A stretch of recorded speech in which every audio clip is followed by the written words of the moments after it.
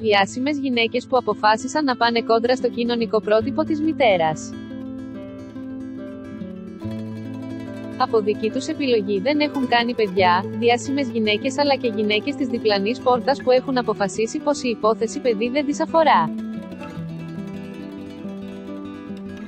Υπολογίζεται πως περίπου το 10% στο σύνολο του πληθυσμού και ακόμα μεγαλύτερο ποσοστό στις δυτικές κοινωνίες έχουν διαγράψει από το λεξίλογιο τους τη λέξη μητέρα. Τα τελευταία χρόνια όλο και περισσότερες διάσημες γυναίκες άρχισαν να μιλούν ανοιχτά για την επιλογή τους και την τόλμη τους αμφισβητήσουν τα παραδοσιακά μοντέλα. Θέλει πολύ περισσότερη δουλειά και ευθύνη το να έχεις παιδιά δήλωσε στο περιοδικό Esquire η Cameron Diaz. Ένα μωρό αυτό μένει όλη τη μέρα κάθε μέρα για 18 χρόνια, το να μην έχω ένα μωρό ίσως κάνει πραγματικά τα πράγματα ευκολότερα. Διαβάστε τη συνέχεια στην κάλερη που ακολουθεί, για την απόφαση της να μην γίνει μητέρα είχε μιλήσει κατά καιρούς και η Σμαράγδα Καρύδη, τα λατρεύω τα παιδιά. Περνάω ωραία μαζί τους, αλλά δεν θα έκανα παιδί, είναι όμορφη η ζωή μου. Πάντα αισθανόμουν ότι ένα παιδί θα με ξεβολέψει, δεν μου έχει βγει ποτέ το μητρικό ένστικτο.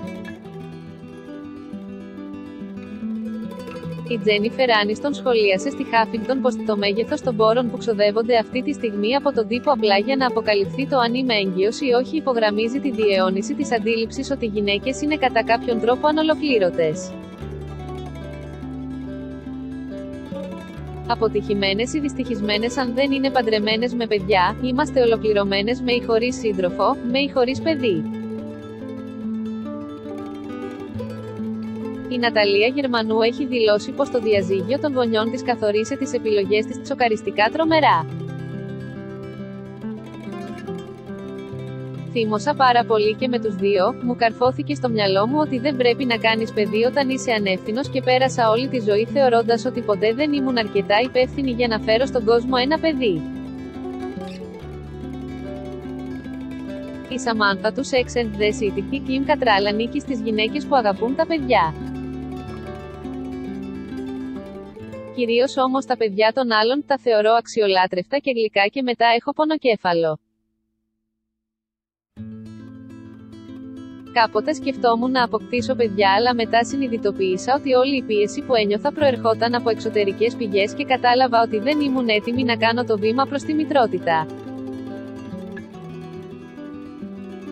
Η Δήμητρα Παπαδοπούλου θεωρεί ότι ρόλο στην απόφαση της, η πίεση και η υποχρέωση της καριέρας ιδιαίτερα απαιτητικά επαγγέλματα της τηλεόρασης είναι αποτρεπτικές για τη μητρότητα σύμφωνα με την Όπρα Winfrey. Εάν είχα παιδιά τα παιδιά μου θα με μισούσαν είπε στο Hollywood Reporter. Θα είχαν καταλήξει στο ισοδύναμο το Oprah Show να μιλούν για μένα διότι κάτι στη ζωή μου θα έπρεπε να υποφέρει και πιθανότατα θα ήταν αυτά. Η Κατερίνα Λέχου είναι και αυτή από τις γυναίκες που δεν επιθύμησαν ποτέ να γίνουν μάνες, δεν ήταν ποτέ επιθυμία μου έχει δηλώσει. Ακόμα και εργασιομανείς φίλες που έβγαιναν τις άκουγαν να λένε ότι ήθελαν παιδί. Το άρθρο να ως επιθυμία, εγώ πάλι ποτέ, δεν είμαστε όλες γεννημένες για να γίνουμε μητέρες.